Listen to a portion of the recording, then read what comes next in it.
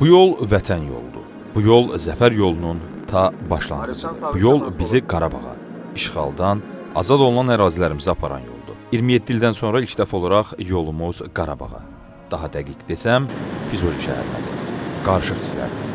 Yaşamayan bilməz deyirlər. Biz də bu tarixi anı, bu tarixi torpaqları, bu tarixi ocaqları o hissləri yaşamaq üçün çox səbirsizlənirik. Azərbaycan prezidentinin köməkçisi Hikmət Hacıyev, eləcə də dünyanın ən nüfuzlu media nümayəndələri də bizimlə birgə Füzuli şəhərinə gedir. Görəcəyimizi və gördüklərimizi sizə göstərmək üçün tələsirik. Amma yol boyu qarşılaşdığımız mənzərə isə sadəcə ürək ağrıdır. Füzuli şəhəri demək olar ki, erməni barbarlığı nəticəsində viran qalıb. Dağılmış evlər, məzarlıqlar, tarixi abidələr, daha nələr, nələr. Bəli, bu viranə qalmış yurt 27 ildən sonra öz övladlarına qucaq açır. 44 gün ərzində qəhrəmanlıq səllaməsi yazan Azərbaycanın müzəffər ordusu tərəfindən isə Füzuliyə gedən yollarda zərərsizləşdirilmiş düşmənə aid tank, zirehli avtomobillərlə də rastlaşırıq.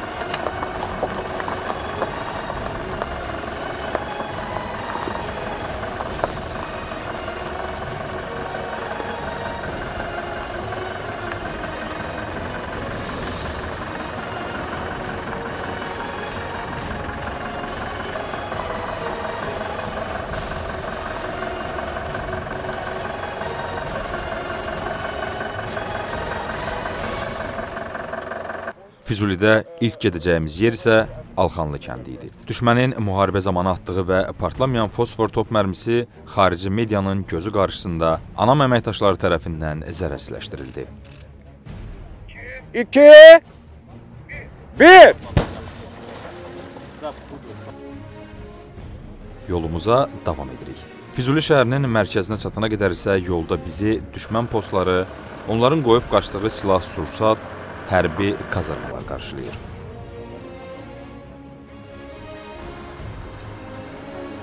Bax,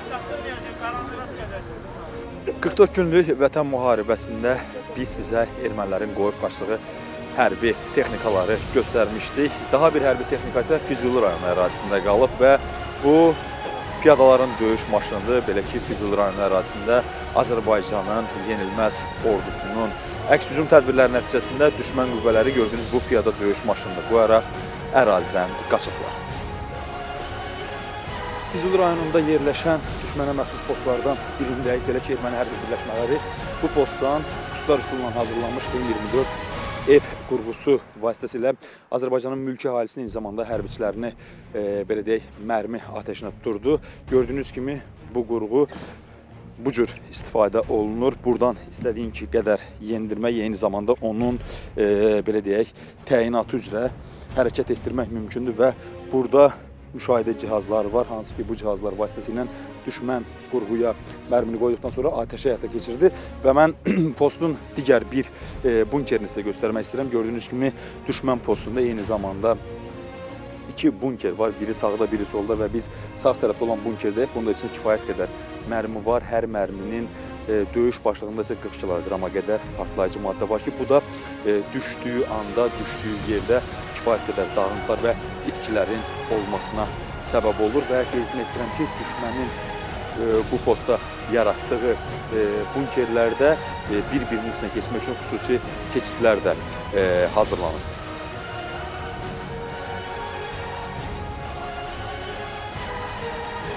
Füzulidə yol boyu hərəkət etdiyimiz zaman əsas diqqət çəkən məqamlardan biri də düşmən şəxsi heyətinə məxsus e, hərbi formalar və onların istifadə etdiyi digər geyim əşyalarıdır.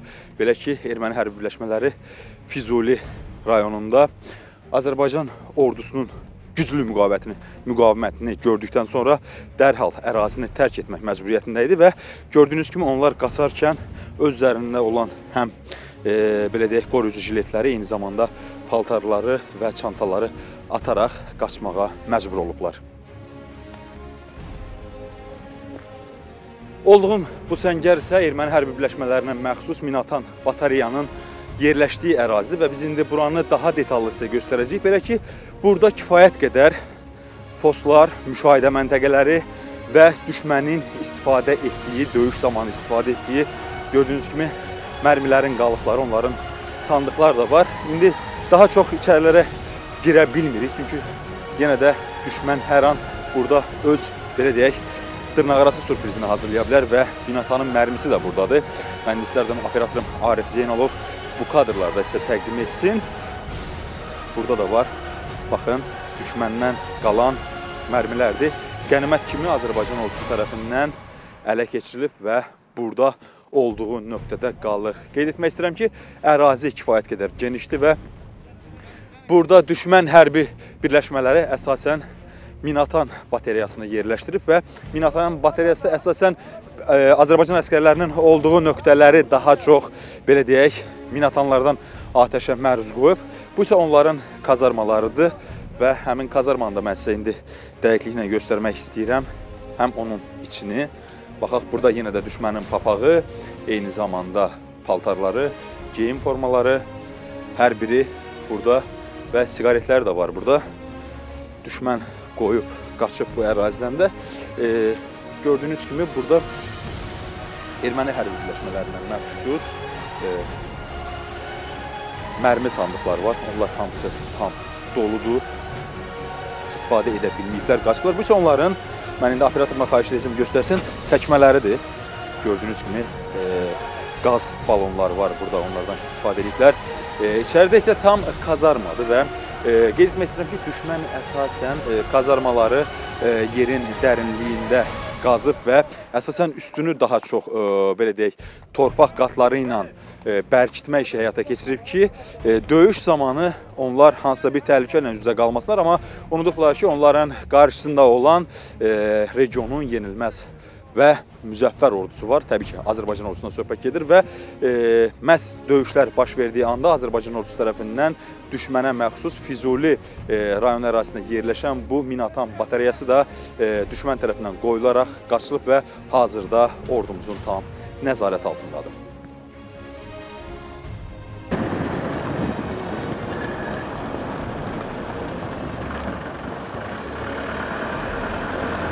Olduğumuz ərazi Füzuli rayonunun giriş hissəsidir və 1-ci Qarabağ müharibəsində erməni hərbi birləşmələri tərəfindən rayonun giriş hissəsi tamamilə darmadağın edilib və burada vətəndaşlara məxsus yaşayış evləri yandırılaraq sıradan çıxarılıb, hətta xarabazarlığa çevrilib. Mən indi sizə digər qarşı tərəfi göstərəcəm. Gördüyünüz kimi orada ermənilərə məxsus e, belə deyək, kənd təsərrüfatında istifadə olunan texnikalar var. E, onun yanında isə elə 1-ci Qarabağ müharibəsində Azərbaycan vətəndaşlarına məxsus avtomobillər, avtobuslar var ki, onlar da artıq belə deyək, tamamilə yararsız vəziyyətdədir. Evlər isə tamamilə uçulub, tam xarabazarlığa çevrilib.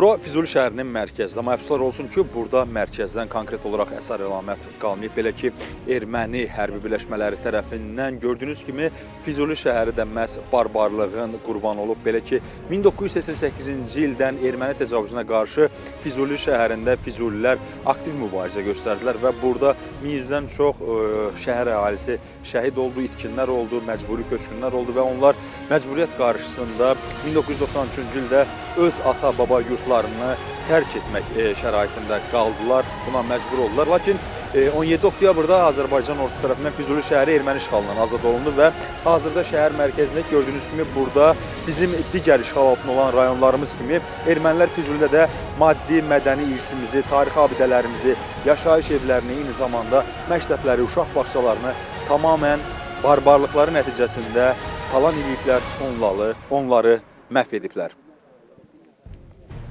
Füzulidə törədilən vəhşiliyin yalnız bir adı var. O da erməni barbarlığı. Prezidentin köməkçisi Hikmət Hacıyev bu vəhşiliyin xarici media vasitəsilə dünyaya çatdırıldığını bildirdi. Bugün biz burada Ali Baş Komandanın möhtərəm cənab prezidentin tapşırığı əsasındayıq. Möhtərəm cənab prezidentimiz ə, Füzuli və Cəbrayıl rayonlarına səfər etdi və ə, səfər əsnasında onun tərəfindən də qeyd olundu ki, ermənilərin bu işğal dövrü ərzində törətdikləri bu vandalizm, bu vəhşiliklər beynəlxalq ictimaiyyətin diqqətinə çatdırılacaqdır. Ona görə də beynəlxalq media nümayəndələrinin iştirakı ilə bu səfərdə New York Times, Reuters, Reuters, Əl Cəzirə və digər aparıcı dünya media nümayəndələri iştirak edirlər. Onlar tərəfindən də bu vəhşiliklər görünür, sənədləşdirilir. Bir Azərbaycan vətəndaşı kimi hər birimiz üçün bu kədərli, həm də sevincli bir haldır. Kədərli o mənada ki, bu cür dağıntıları, bu vəhşilikləri görəndə bu insan həyatıdır. Necə-necə insanların həyatını məhv ediblər. Bu Füzuli şəhəri işğaldan əvvəl 100 mindən artıq insanın yaşadığı bir şəhər idi. Azərbaycanın ən çiçəklənən şəhərlərindən, inkişaf etmiş şəhərlərindən biri idi, amma dağıdılıbdır, məhv edilibdir Füzuli.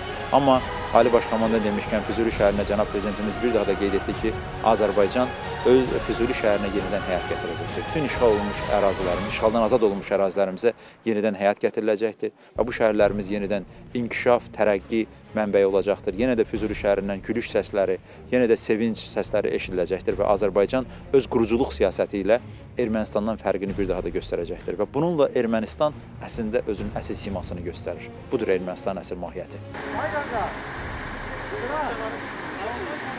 Füzuli şəhərinin tarixi də olduqca qədimdir, lakin burada olduğumuz müddətdə Füzuli şəhərinin tarixini göstərə biləcək hər hansısa bir detala rast gələ bilmirik. Çünki erməni hərbi birləşmələri tərəfindən rayon mərkəzində eyni zamanda kəndlərdə olan bütün maddi, mədəni, tarixi tikililərin hər biri dağıdılıb və yararsız vəziyyətdədir. Görürsünüz siz kadrlardan da bunu.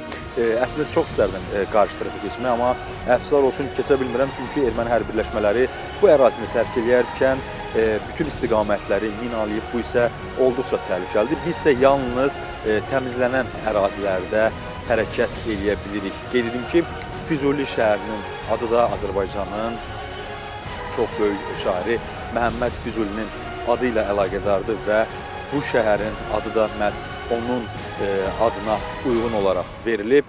Erməni hərbi birləşmələri şəhəri talan eləsələr də, dağıtsalar da, Azərbaycanın yenilməz qüdrətli ordusu tərəfindən hazırda Füzuli şəhəri bizdədir və biz bu günləri Füzuliyə qayıtmışıq. Biz bu günləri Füzulidəyik. 27 ildən sonra Füzuli şəhərinə ayaq basan rayon sakinləri isə evlərindən geriyə sadəcə daşlar qaldığını, amma buna rəğmən xoşbəxt olduqlarını deyirlər. Gəldik, bir demək olar ki, sağlamat ev, ictimai binalar, təhsil aldığım məktəb, işlədiyim məktəb, direktoru olduğum uşaq yaradıcı pioner evi gedirdi o vaxtı. Yəni bütün evimdən heç bir əsər əlamət yox. Mən biz bura gələndə bilirdik bu vəziyyətə gələcəyik. Amma bu gün məni əgər Azadlıq prospekti 2 ünvanına, yəni mənim qeydiyyatda olub evim olan ünvana qarşısında dayanmışam ki, özümü xoşbəxt sayıram. Və buna görə, bu xoşbəxtliyimə görə Ali Baş Komandanımıza dərin təşəkkürümü bildirirəm. Əskərlərimizin qarşısında baş əyirəm şəhid analarının qarşısında dayanışayam ki, onların sayəsində, yəni güclü ordumuzun sayəsində, ölkə başçımızın apardığı daxili və xarici siyasət nəticəsində bu gün mən evimin qarşısındayım. Çox sevindim ki, mən Füzuliyə gəlirəm, ayağımı Füzuli torpağına qoyacağam. Amma gəlib bax evimi belə görəndə siz təsəvvür eləyin, hansı his keçirdə bilərəm mən. Keçmişim yadda uçdu. Necə bomba atılırdılar, necə biz qaçırdıq, necə eləyirdilər. Məsələsi Mənim qonşum da burdadır, onun evi o bir tərəfdədir. Təsəvvür eləyin ki, mənim qonşum burada olmasa mən tanımazdım. Ev o günə qalıbdı. Belə ev deyildi.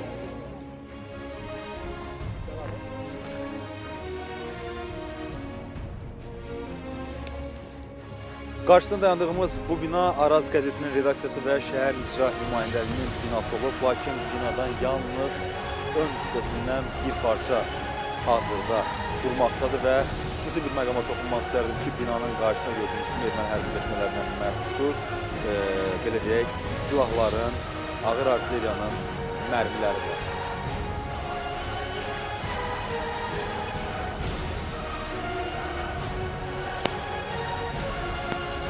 Qarşısında dayandığım bu bina Füzuli şəhərinin mərkəzində yerləşən məsciddir. Lakin erməni hərbi birləşmələri tərəfindən məscid tamamən dağıdılaraq yararsız vəziyyətdədir və burada əsasən məscidin ərazisi ermənilər tərəfindən tövlə kimi istifadə olunub. Bu da ermənilərin e, dini dəyərlərə necə qiymət, necə önəm verdiyindən xəbər verir.